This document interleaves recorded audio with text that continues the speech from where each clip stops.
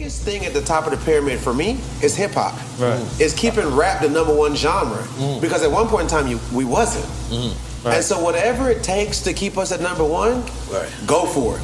Right. So I'm with you. Me, that's for me, respectfully. Right. You know what I'm saying? Because that is what is important. Mm. We can't depend on the best rappers to keep hip hop number one. No. Because they haven't. Right. That's true.